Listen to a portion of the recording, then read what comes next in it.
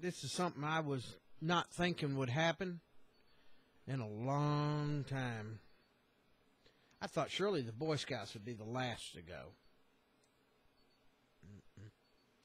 Judgment Day is upon us, folks.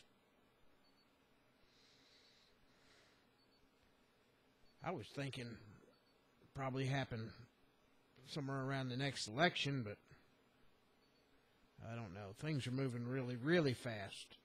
A lot of prophecies are coming to bear. Of course, you know, God is does time means not much to him, so it still could be a couple of years. But man, what happened today? All of America's youth. Well, not you know, it doesn't say, but they represent all of America. When they do that, they turn a nation. They just turn their back on God. Read the Boy Scout oath. The very, the, I mean, it, it, somebody's bound to have been in the Boy Scouts here.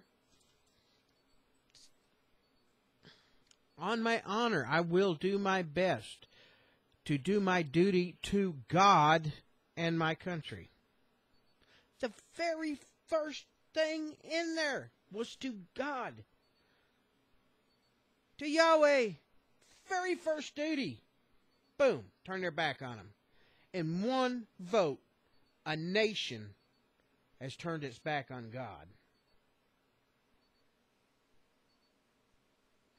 Man, as as uh, I read in the Bible, whoa, whoa, the wrath that's coming on this country is going to be bad, bad,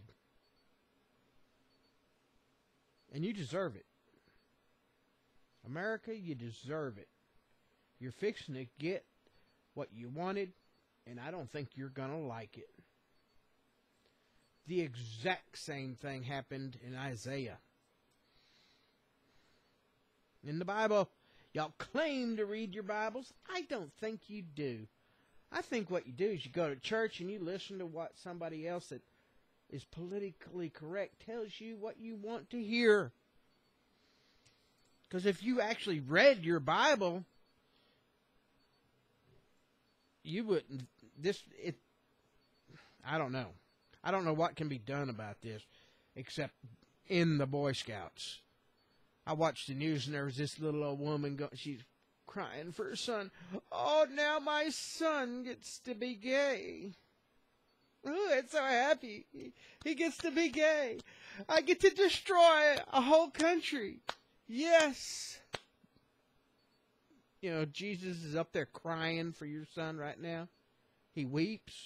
And he's weeping for all the other children because he knows what the Father is going to bestow upon the rest of us for allowing this to happen.